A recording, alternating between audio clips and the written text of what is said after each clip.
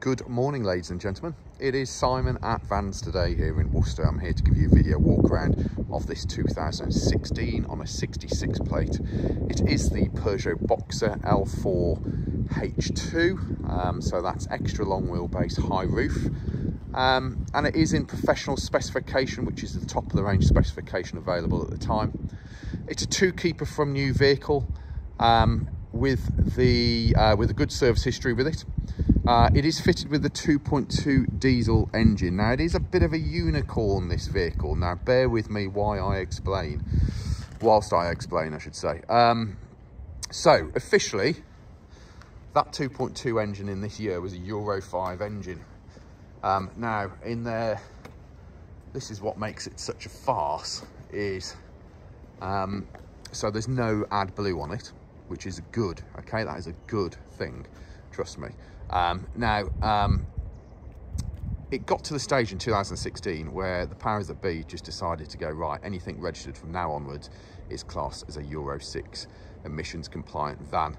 Um, and so um, that's what happened to this. So um, it is ULEZ, LEZ, emission zone compliant, but it is the 2.2 Euro 5.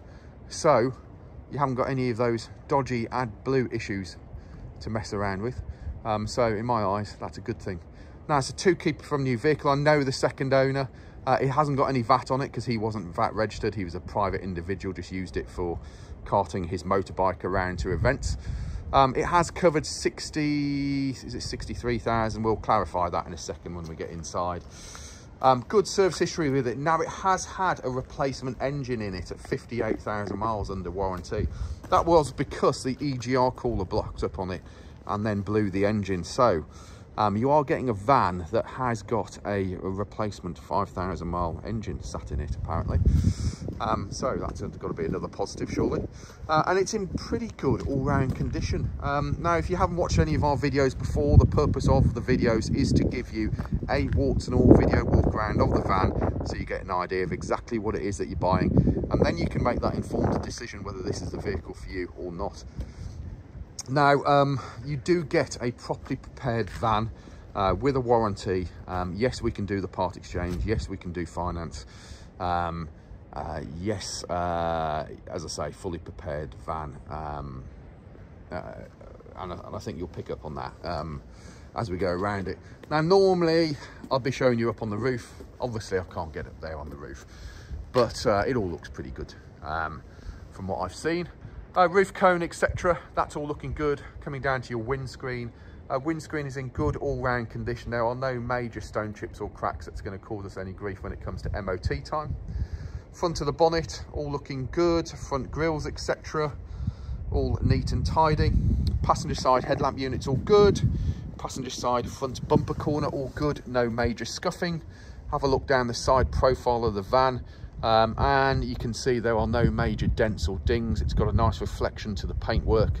Um, just shows you it's, it's seen a little bit of love in its time, doesn't it? Around to the driver's side, driver's side headlamp unit's all good. Driver's side front bumper corner, again, all good, no major scuffs. Again, looking down the side profile of the van, um, all looking straight and tidy. And then passenger side front wing, uh, all good. Passenger side front steel wheel. Uh, you've got a, a budget tyre on there. That tyre has that element of tyre tread depth. I've taken photos of them. Now, where we are with tyres, anything less than 3 mil, we replace the legal limit being 1.6. Mirror unit with integrated indicator and upper and lower mirrors are in good condition. Driver side door glass, overall good condition. Driver side door itself, again, overall good condition door handle and locks all good. The door edges are lined up as you would expect them to. No major damage to the uh, door edges or anything. If I get down on the creaky old knees have a look at the lower sills you can see those are in good condition. Your protective strips down the side of the vehicle all present correct as are your side marker lights no damage to them. Mid quarter that's all looking good. Rear quarter again all looking good uh, driver side rear steel wheel, budget tyre, tyre again, as you can see there.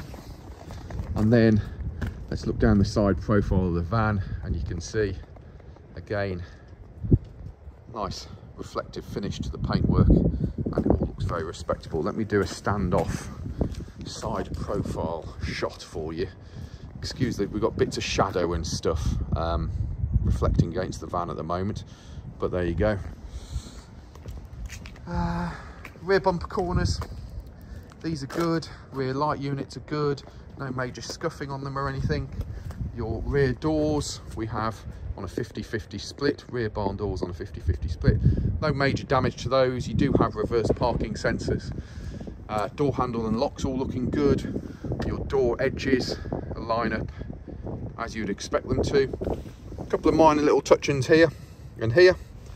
Um, let's give you a close-up of the driver's side and a close-up of the passenger side.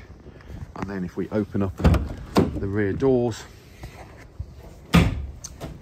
and so it's been valeted. Okay, it's pretty cold in the mornings at the moment. There's a bit of condensation on the roof. We can put the dehumidifier in it.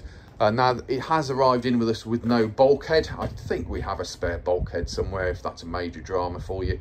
Um, but I suspect it might go for conversion this, but who knows, who knows.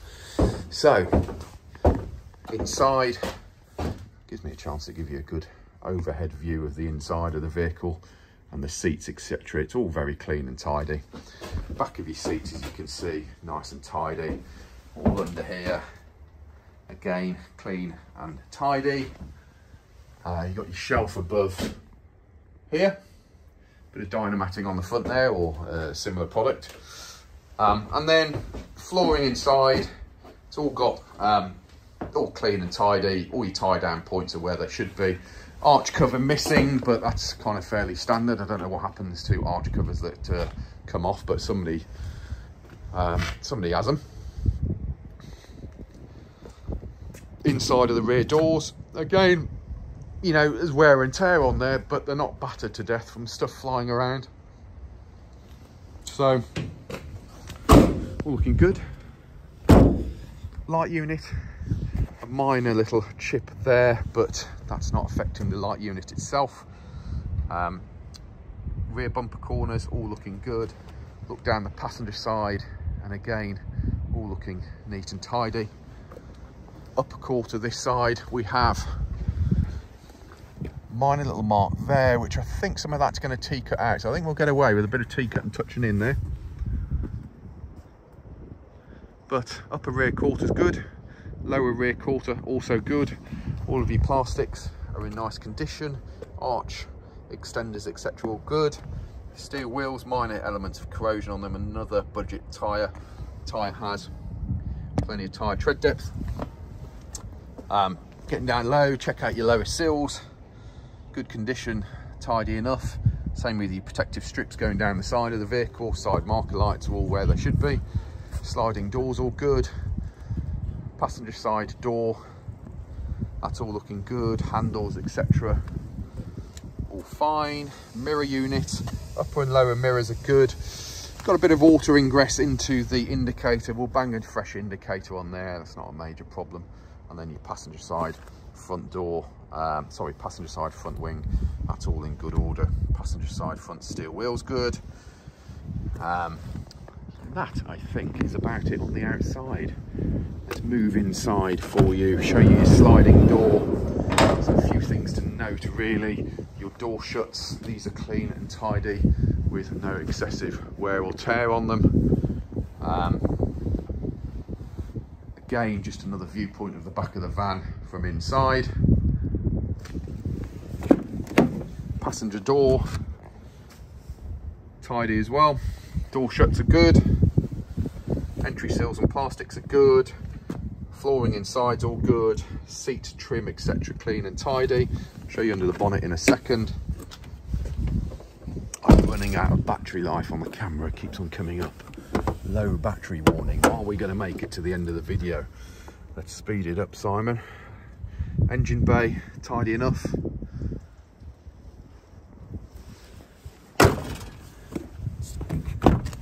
Driver's door card all good. Electric windows and mirrors entry sills and plastics are good. Flooring inside, obviously it's got the normal wear and tear on the flooring there. They have glued a rubber mat over the top of it. And then being professional spec, you've got sorry, instrument binnacle, clean and tidy, no excessive dust stuck in there or anything. 61,900 miles. Um, indicators, wipers, cruise control with speed limiter, multi-function steering wheel. Steering wheel's in nice, tidy condition as well. There's no excessive wear or tear. Six-speed manual gearbox, air conditioning, DAB, FM, AM with Bluetooth telephone and Bluetooth music. Nice bit of storage in there. USB power is up under there. 12 volt power on there as well. And as we have a low battery, that's a very quick walk around of the van.